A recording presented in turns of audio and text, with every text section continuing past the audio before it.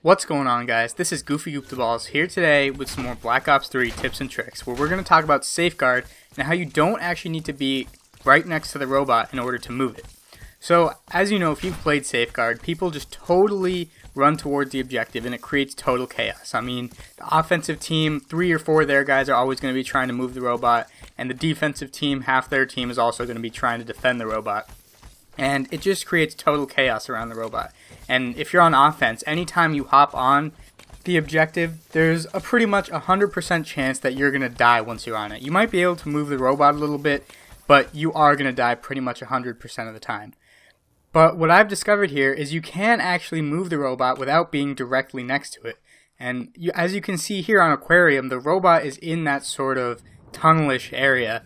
And instead of going directly towards it to move it, I go all the way around to the water area and I'm able to move it through that wall on the left side of that tunnel area.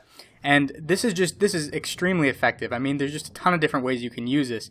And, you know, it's going to save you a lot of deaths. That's the biggest thing here is that you're going to be able to move the robot, get the points for moving the robot and, you know, get your team closer to the win without putting yourself at risk at all. And I mean, nobody knows about this, so the enemies on the other team are going to be completely confused when they see the robot just kind of moving on its own. And nobody's going to think to check for you in the water area.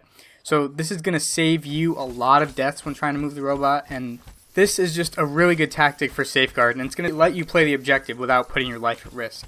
And you can't only do this on Aquarium, you can do it on pretty much every map in the game that you can play Safeguard on. I haven't put all the spots in this video, but I'll show you another one here on Hunted, and there are just a ton of different ways you can use this, a ton of different spots on every map.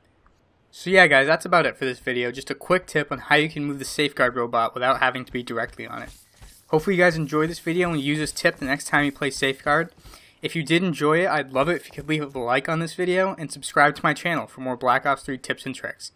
This has been Goofy Balls, and I'll catch you all in the next video.